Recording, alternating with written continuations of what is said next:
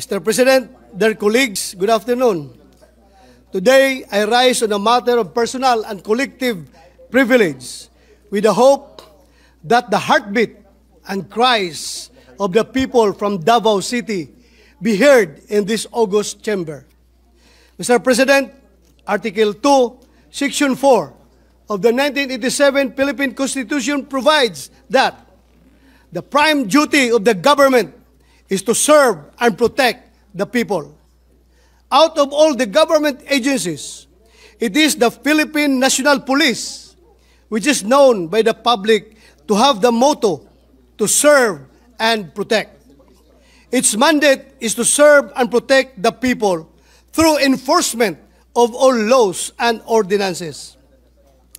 Napaka-importante na maging tapat ang PNP sa kanilang tungkulin, panindigan at mag-implementa ng rule of law para sa mas maayos at matiwasay na komunidad. Ngunit, sa pagtupad sa kanilang tungkulin, importante rin na ginagampanan nila ito ng may respeto sa human rights, hindi lamang ng ilan, kundi ang bawat miyembro ng komunidad. Sinumpa ang tungkulin ng ating PNP na magpatupad ng batas para protektahan ang buhay at ari-arian ng mga mamamayan. Ngunit, paano kung sa pagpatupad ng batas ay nalalagay sa panganib ang buhay at ari-arian ng mga tao? Ito po ang hinaing ng mga miyembro ng Kingdom of Jesus Christ, mga residente sa QOGC compound, pati na rin ang mga estudyante at profesor ng Jose Maria College Foundation Incorporated of Davao City. On August 24, 2024, around 2,000 cops from Police Regional Office 10, 11, 12, and 13 were deployed to implement the warrant of arrest against the leader of KOJC Pastor Kibuloy, and five others. At this point, I want to make on record that we are not questioning the authority of the PNP to implement valid warrants of arrest issued by a court of competent jurisdiction. We are not questioning their desire to fulfill their mandate to arrest the person subject of the warrants of arrest. Ang tanging tanong po ng mga taga-QOGC, Mr. President, ay bakit kailangang mag-deploy ng higit 2,000 na pulis mula sa iba't ibang region para mahuli ang anim na katao na miyembro ng QOGC. Kailangan ba na pag-implementa ng warrant ay magkampo sa loob at labas ng QOGC compound ang ating mga kapulisan. Tama ba ang ginagawang pagsasagawa ng search operation sa loob ng QOGC compound kahit wala namang na-issue ang korte na search warrant? Ano ang maaring gawin ng mga miyembro ng QOJC para maprotektahan ang kanilang mga karapatan? Saan pa sila pwedeng humingi ng tulong para matigil ang tila panggigipit sa kanila. Excessive force. Now, the alleged excessive number of deployed police officers as a former chief of the Philippine National Police, I have not encountered an operation to implement a warrant of arrest wherein we deployed forces close to 2,000 people. To compare the PNP also implemented a warrant of arrest against Zulkifli here, also known as Marwan. Marwan was listed among America's most wanted terrorists with 5 million US dollar bounty on his alleged involvement in a series of deadly bomb attacks in the Philippines.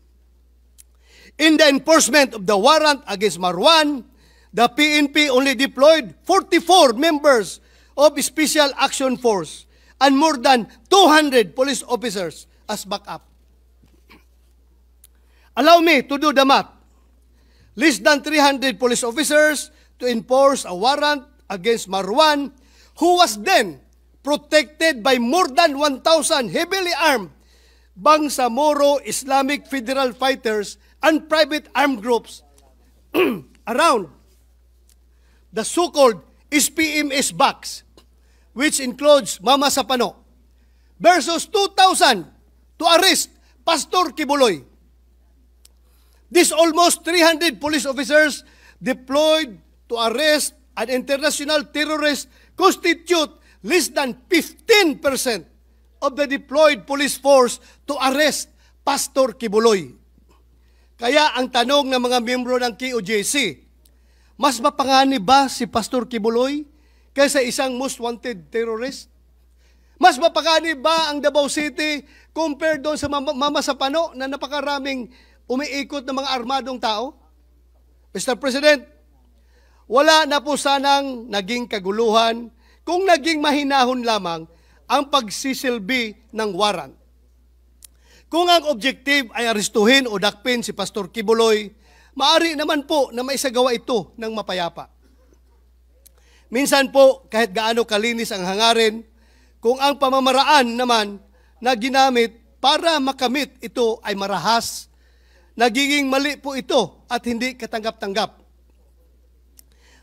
Maihalin tulad po ito sa isang konsepto na madalas gamitin sa ating mga korte kung illegal na nakalap ang ebidensya, hindi ito nagiging admissible sa korte o ang tinatawag na fruit from a poisonous tree.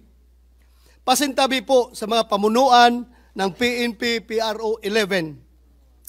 Pero tila isinusubo nyo sa kapahamakan ang ating mga pulis. Inaakay ninyo sila sa bangin na maaring magdulot ng kamatayan sa kanilang mga promising careers. Kung hindi po sana naging overacting o overkill ang pagsisilbi ng warrant, ay nanatili lamang within the standard at nanatili lamang within the standard operating procedure, wala sanang gulo. The overwhelming number of police camping in front of the gates of KOJC with the simple goal of serving a warrant will naturally create fear and tension. It has created an atmosphere of terror, the same feeling of insecurity that our law enforcement agencies vowed to wage war against. PNP camping. Simula noong madaling araw ng August 24, 2024 hanggang sa oras na ito, nanatili ang, ang pagkakampo ng mga pulis sa loob at labas ng QOJC compound. Gaano karami po bang bilang ng mga pulis ang kailangang i-deploy para arestuhin ang isang tao? Kinakailangan ba na magkampo pa ang mga pulis ng ilang araw? Gamit ang resources na pamahalaan para lamang sa isang simpleng operasyon na pagsisilbi ng warrant. Ang pagtitirik ng kampo ng ating kapulisan sa tarangkahan ng QOJC ay hindi lamang nakapagdudulot ng matinding abala sa kasapian ng QOJC, kundi maging sa mga komunidad na nakapalibot dito. Baka sabihin ng iba, ang babaw naman kung ang inireklamo lamang ay ang abalang dulot ng operasyon. But no, Mr. President, there is more to this than just inconvenience. Higit sa abala na dulot ng kaguluhan na ito, ang mas nakaaalarma ay kung nagawa ng kapulisan natin na magkumpulan sa isang lugar ng ilang, ng ilang araw. Paano na lamang po ang kanilang mga sariling mga area of jurisdiction? Sino na po ang naiwan doon para makapagbigay ng serbisyo publiko? Excuse me.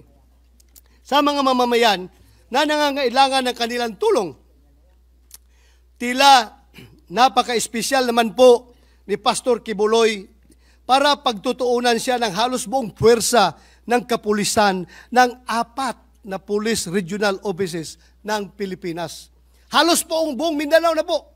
Puwersa ng buong Mindanao ando na sa premises ng uh, Kingdom of Jesus Christ, Mr. President. Illegal search. As far as the KOGC members are concerned, there is no valid search warrant issued to conduct a search inside their compound. The only judicial process issued by the court are the warrants against Pastor Kivuloy and five others. Due to lack of a valid search warrant, QJC are claiming that searches made and being made by the PNP inside the QJC compound are illegal and unconstitutional. They claim that PNP cannot and should not claim that such search is incidental to a lawful arrest. They anchor their stand on the established, established rule in the numerous Supreme Court decisions that the law requires that there first be a lawful arrest before a search can be made. The purpose cannot be reversed. Kung hindi pa nahuhuli o naaresto si Pastor Kibuloy o ang ibang miyembro ng KOJC na subject ng warrant of arrest, bakit nagsasagawa ng search ang PNP sa compound ng KOJC? May bago na po bang alituntunin ang PNP sa pag-iimplementa ng warrant of arrest? Tayo po mga pulis, isama ko na po ang aking sarili. ay mga takapagpatupad ng batas. Hindi po tayo mga alipin nito.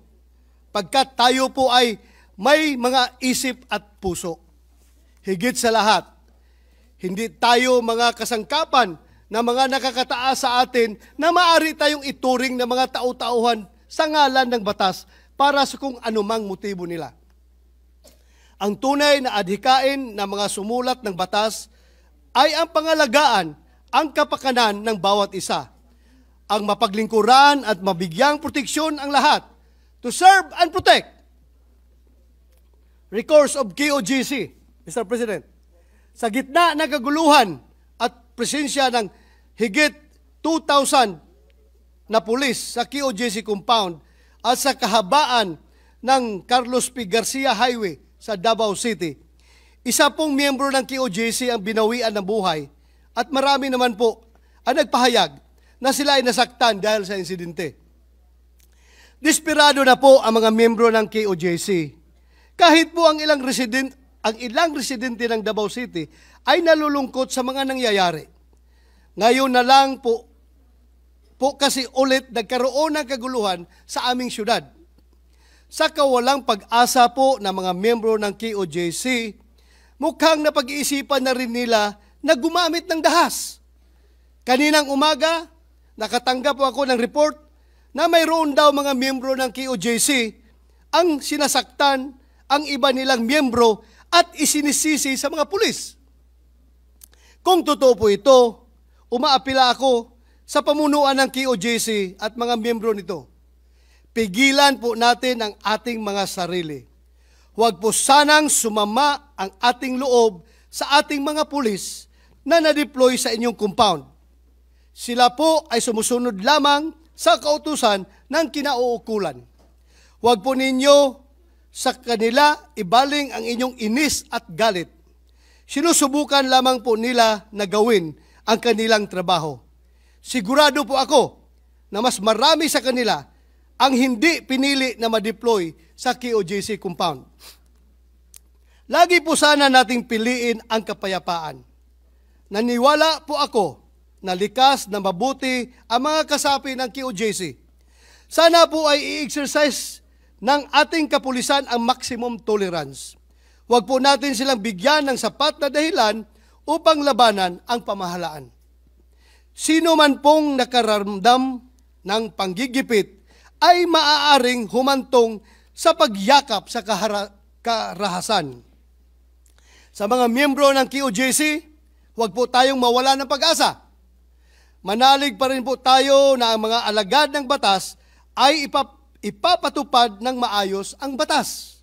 Patunay po rito ang naging temporary protection order na inilabas ng Regional Trial Court Branch 15 ng Davao City na nagpapapatigil sa PNP sa kanilang mga ginagawang paglabag sa inyong religious at academic rights. Here is my appeal to the President Bongbong Marcos, Mr. President. Mr. President, It is my fervent hope that my remarks in this August chamber will reach President Bongbong Marcos. To President Bongbong Marcos, I am reaching out to you in all humility. I do so not only as a concerned citizen and a resident of Davao City. I speak also as someone who deeply believes in your commitment to this nation. Marami na po tayong narinig sa balita. Hindi raw po aalis ang PNP dahil may nadidetect, may nadidetect silang heartbeat. To that, we raise no objection. We are in opposition to question these technological advancements. And yet, while your PNP is focused on the underground heartbeat, which they suspect belongs to the heart of Pastor Kibuloy, I urge you, their president of this nation, to listen also to a different sort of heartbeat. The heartbeat of thousands of Filipinos in the midst of this cacophony of sounds. It is our hope that the voices and hearts of these Filipinos will not be drowned out. Among them are the members of the KOGC, KOGC deprived of their religious freedoms. Their right to practice their faith is being challenged. And their pleas for support are echoing through our land. Excuse me. Let us also listen to the hearts of thousands of students from Jose Maria College Foundation Incorporated and Lyceum of the Philippines in Davao City, as well as their parents, who are grappling with the disruption of their education. I feel that it is not suitable, it's not justifiable that in the attempt to serve a warrant of arrest, we also end up arresting our young people's dreams. This is highly unwarranted, Mr. President. Their aspirations hang in the balance as ongoing siege affect their learning environment and their future prospects. Additionally, the closure of Carlos P. Garcia Highway near the airport has caused immense hardship for many Davaoenos. Their daily lives are disrupted and their convenience and well-being are at stake. Pagod na rin ang mga tao. More precisely, pagod na rin ang mga puso ng mga tao. Their weary hearts have resorted to seemingly marching to a different beat, regretting their choice of leadership, losing their hope. Yet, I stand here with unwavering faith in you as the father of our nation. I, for one, still believe in your capacity to care for every Filipino. After all, regardless of where we find ourselves politically, socially, religiously, or even physically, we all share the same heart and spirit. Mr. President, may President Bongbong Marcos continue to listen to the heartbeat of the people. Hindi lamang sa sports, kundi sa lahat ng aspeto ng buhay Pilipino. Puso, Mr. President, puso. Maraming salamat po. I know, Mr. President, that I think he personally went to the to the place. Yes, Mr. President. Eh, samantalang ako po eh, binabasa ko lang ang mga news reports. So si si Senator De La Rosa po ay talagang nakita niya anong nangyayari sa ground, nakausap niya I'm sure both sides, for being a former PNP chief, kausap din niya mga polis, kausap din niya yung mga KOJC and the other Dabawenyos there. Alam niya po ang sitwasyon. So, uh, based on your personal information po, uh, uh, Mr. President, uh, ano po ba ang sitwasyon sa ground? Uh, tama po ba yun na naglagay ng parang kampo ang polis uh, dun sa lugar. And then pag sinabi natin lugar, is it outside of the gate of the KOGC compound or inside of the gate of the KOGC compound? Correct, Mr. President. Both inside and outside of uh, KOGC compound, andoon po nakakampo ang ating mga kapulisan. Inside. So para para na pong parang expropriation na po yan. Ang yung ginawa nilang ah, ah, public property ang isang private property, eh, kahit pansamantala lamang. Correct, Mr. President. Tila nga, pakiramdam ng mga tao doon ay meron ng martialo na nangyayari doon sa Davao. Dahil nga, yung compound ay hindi na magamit ng mga may-ari. Correct. Mga rightful owner of that compound hindi na magamit dahil binabawalan silang pumasok. At kung sila ay nakapasok, gusto nila lumabas, hindi na sila makapasok uli. So, this this is deprivation of uh, private uh, property, Mr. President. Opo, ah, so ganyan po. ah, ah, kailan po kayo bumisita ron para at least malaman natin yung petsa ko yung personal knowledge ninyo? Ano po yun? I was there uh, when the warrant was executed in the early morning of uh, uh, Saturday, Mr. President. I went there around uh, almost 5 o'clock in the afternoon. 25 bale, August 20, August 25, Saturday. Is uh, August 25? Ah? 24. Ah, tw- August 24, 24, Saturday. Sabado. Opo, so nakita, nakita nyo po yun. So, merong police personnel or force outside of the gate, ah, siguro ang purpose nun para bawal pumasok ang mga nasa labas. Merong police force or personnel inside the gate, ang purpose naman nun para bawal lumabas. Yun, Mr. President. And um, ang KOJC naman po or si Pastor Kibuloy, I know he's represented by good lawyers. Kilala ko nga si Attorney Torion. Eh. Ah, so, I'm sure nag ah, nag-reason nag-reason out na po sila siguro sa commanding ah, officer on the ground. Ano pong binigay na legal basis naman ng police at bakit nila ginagawa 'yon? Their uh, reason, Mr. President, for not vacating the area was that uh, meron pa daw silang namumonitor na heartbeat sa ilalim ng uh, lupa, underground. And that could possibly be the heartbeat of uh, Pastor Apollo Kibuloy. And that is the reason why they encamp uh, inside the QGC compound because the, the, the, the presume that their uh, uh, service of warrant of arrest is, is still ongoing. And uh, uh, it was explained properly by the lawyer, uh, Attorney uh, Torion, but still to no avail, Mr. President. So the KOJC officials give in to the wishes of the Philippine National Police. Pumayag sila, Mr. President, o sige, kung saan yung gusto hanapin yung heartbeat na yan, puntahan natin. Sama kami sa inyo para malaman natin kung saan yan. Kung saan yung kakalkalin yung mga lupa, gigibain ninyo yung mga structures para mahanap nyo yung heartbeat na yan. Pumayag na lang yung walang magawa na mga taga-QOJC. Dahil, dahil gusto nilang matapos na, Mr. President.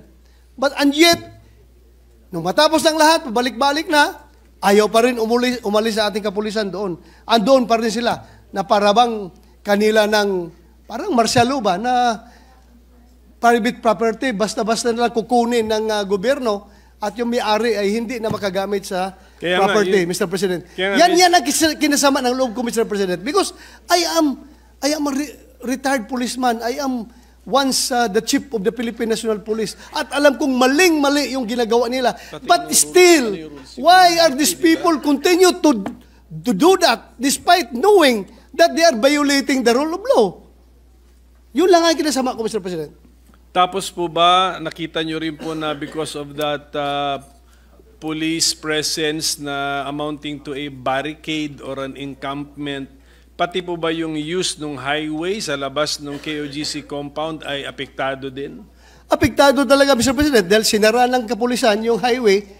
Siguro, Yung lane, that is, yung that is lane na pinakamalapit o yung buong highway? Yung buong highway, Buong highway. airport hanggang dulo, yung buong highway pa hanggang Panakan, hindi na mapasukan ng ah, sasakyan dahil hinarang ng pulis. Dahil, siguro, to my mind, I am also a policeman. We think uh, the same manner, Mr. President. Alam ko yan, ginawa ng kapulisan para harangin yung posibleng reinforcement dahil takot sila magkakaroon ng people power doon sa QOJC uh, premises. Kaya hinarangan nila na wala makapasok na sasakyan para wala mag-transport ng mga tao doon. So, I, I'm not blaming them for that. Kanya-kanya diskarte yan, Mr. President. Pero, ang problema lang, ang movement ng mga ordinaryong mamamayan from Davao del Norte, Agusan, going towards Davao City, ay masyadong na-hampered, Mr. President. Lalong-lalo na yung pupunta ng airport. Dahil iikot ka pa doon sa napakalayong ikutan mo para makapunta ka sa airport. Well, uh, yun na nga, Mr. President. Pero yung kasi yung mga worry nila ng kapulisan, na sabi na ating uh, speaker, former chief ng PNP, na-anticipate mo, logical. But it's, o- it's because you're taking too long to serve the arrest warrant. That is the point. Yes, Why, Mr. President. why okay, wha- and then, uh, ayaw nilang uh, i-abandon yung pag-serve, pag-serve ng arrest warrant because sabi nila may indicator sila na may heartbeat. Yes, But Mr. where is what is that machine which tells them that there is a heartbeat? Where is it located, Mr. President? Well, uh, it should be explained properly, At Mr. paano, President. paano naging kapanipaniwala na kung saan yung makina at saan daw how many meters away yung heartbeat na nadidetect ng makina? Yun, yun nga, Mr. President. And uh, Mr. President, to add, uh, sabi ko kanina, may lumabas na na uh, restraining order coming from the RTC branch of Davao City. Ah.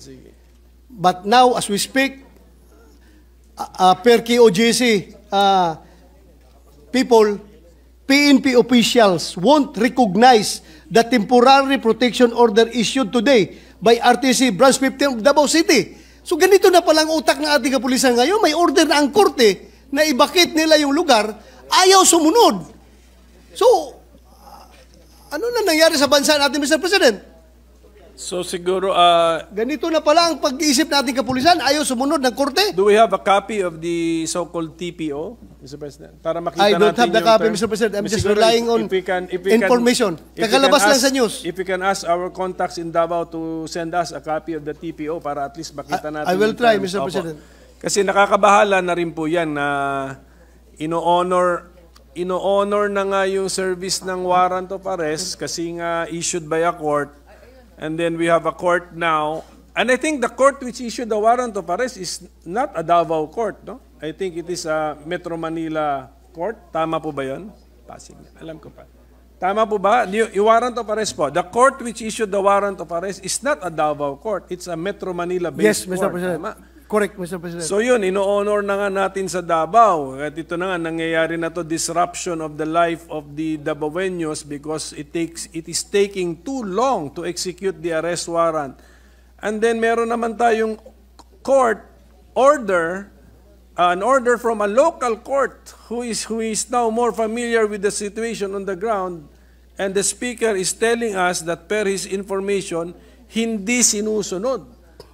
But siguro, but the, uh, the terms of that court order, uh, kailangan siguro makita natin kasi sometimes it, sometimes baka sabihin talaga nila, ah, hindi naman to naka-address sa amin. Uh, yeah, Mr. President, if, if uh, I may read, RTC 11th Judicial uh, District, Branch 15, Davao City, in the matter of petition for the writ of amparo, the Kingdom of Jesus Christ, the name above all names incorporated, KOJC, represented by Executive Pastor Marlon Akubo, Jose Maria College Foundation Incorporated, represented by Rosemary Dimag Naong, versus Honorable Benjamin Abalos in his capacity as the Secretary of the DILG, the Philippine National Police, et al.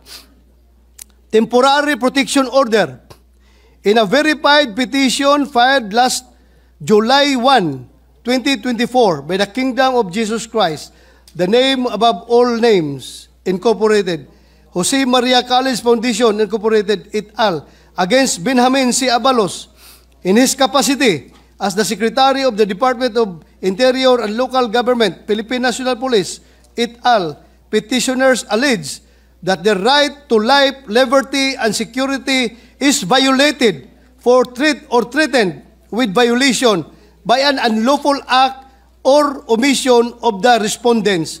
The, thus, petitioners seek for the issuance of a writ of amparo among others.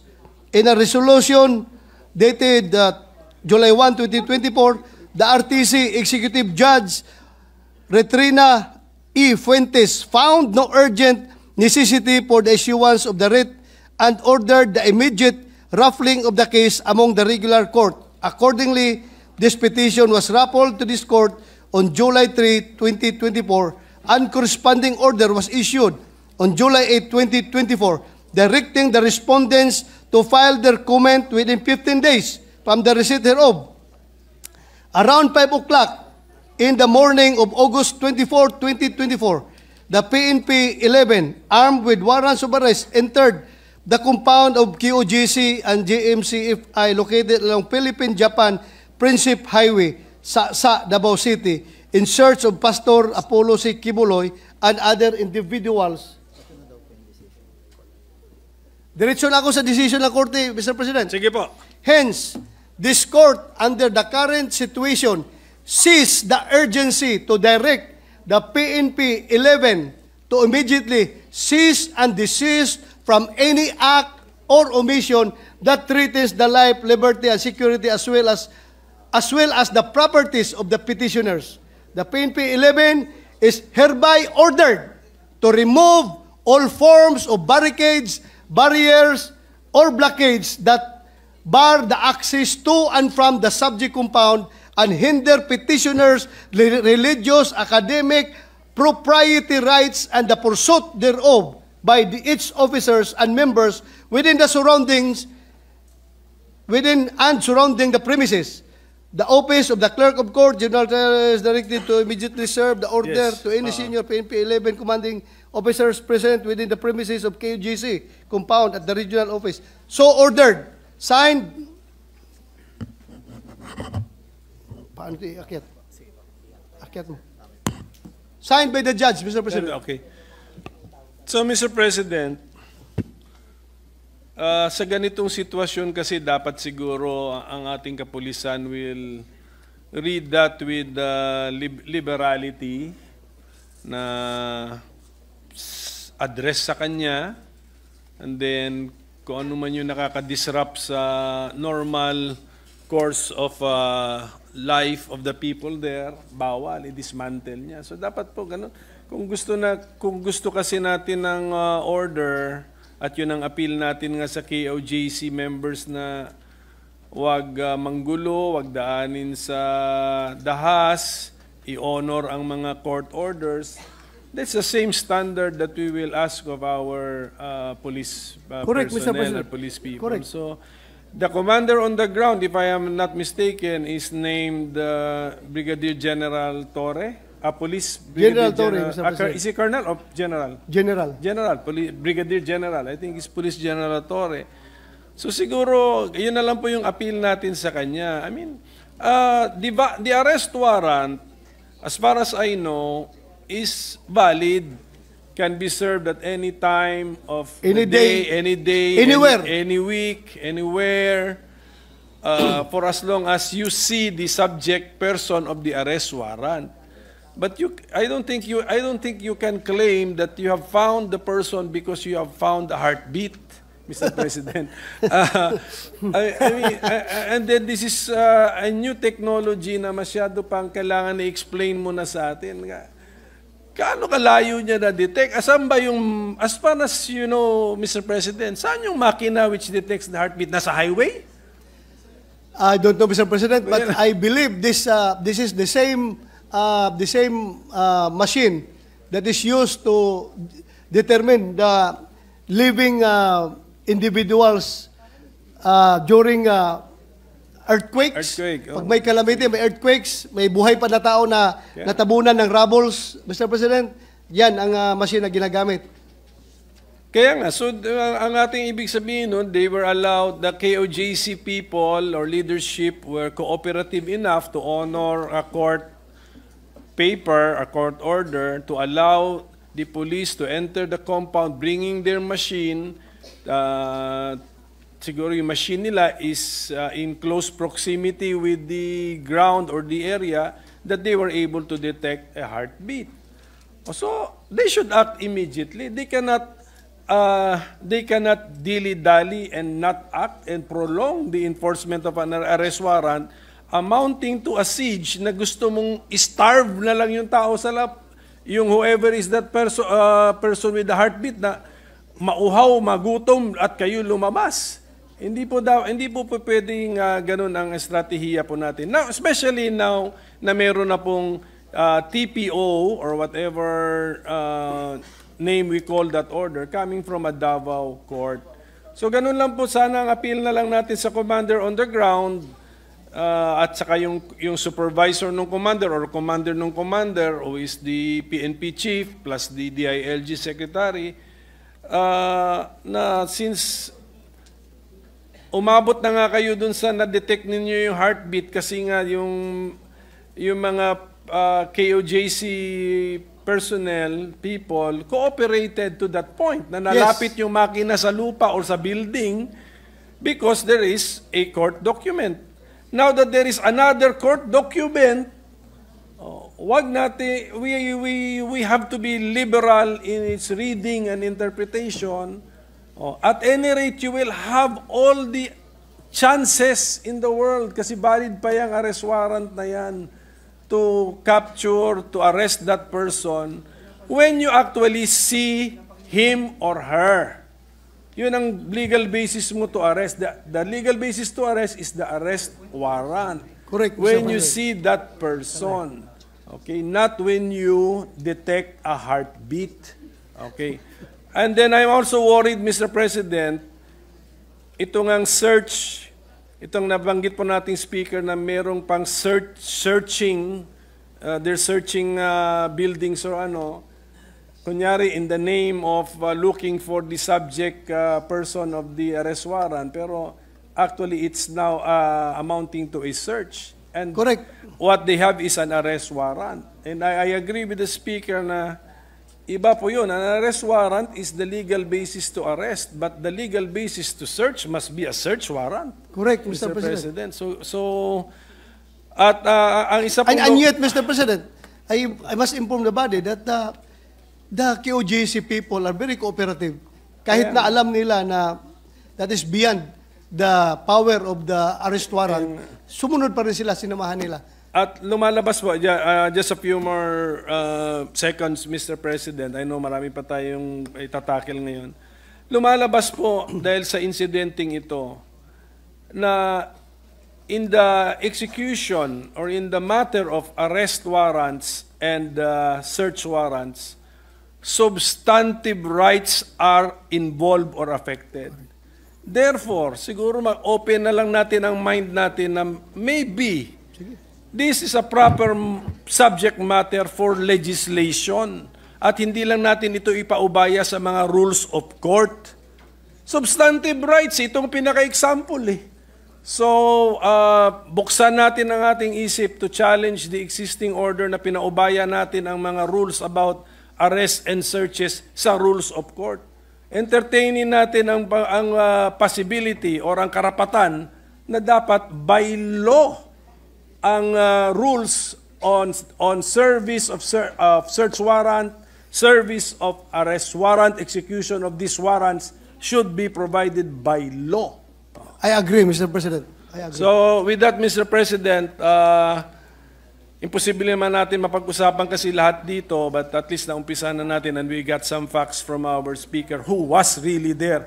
Ito, hindi to hearsay, ano to, talagang eyewitness uh, testimony po ito ni Senator Bato de la Rosa. So thank you uh, to our colleague for bringing this to our attention.